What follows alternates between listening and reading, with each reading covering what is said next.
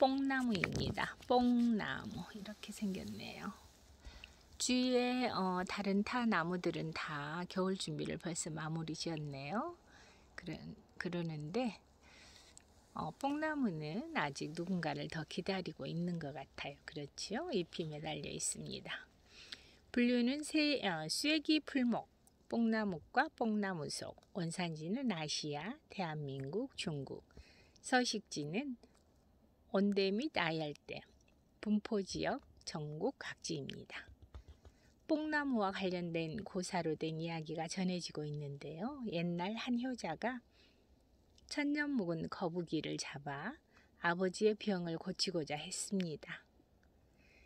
효자가 뽕나무 아래에서 잠시 쉬어가는 동안 그때 거북이가 솥에 넣어 나를 백년을 고아보게 내가 죽나 라고 말을 걸어왔다고 해요. 그러자 옆에 있던 큰 뽕나무가 뽐내며 나를 베어 장작으로 만들어 불을 떼어도 내가 안 죽을 것 같니? 라고 대답했다고 해요. 이 효자는 뽕나무를 베어다 거북이를 고아 아버지의 병환을 치료하였다고 합니다.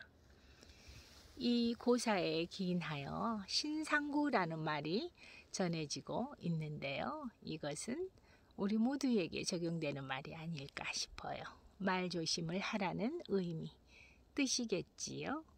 뽕나무, 뽕나무의 꽃말 전하면서 마무리 지을까 해요. 뽕나무의 꽃말은 지혜입니다.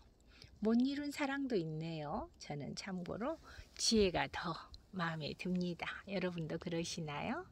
자, 뽕나무. 오늘은 뽕나무에 대해서 알아봤어요.